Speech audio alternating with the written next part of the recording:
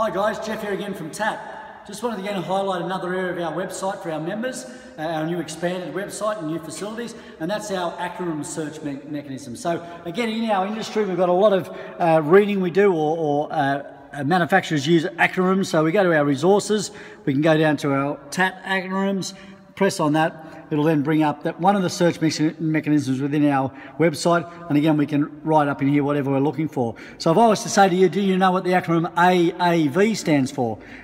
Let's have a look what we can come up with. AAV. Again, we can come up with them. Anti-afterburn valve. There, you learn something new every day. I just learned what AAV stands for virtually every acronym in the automotive industry is located within this uh, facility. So if there's any bunch of letters you don't know what, what, what they actually mean when you're reading it or uh, doing some research, etc., there's a mechanism now where you can actually look that up. So there's many, many, uh, quite often where abbreviation can mean multiple things. Again, that'll be listed up here. So again, just another facility for our members to utilise. So please get on there and utilise that that part of the website. If you're not a member and you'd like to have access to that sort of stuff, uh, hit our website www.tat.net.au,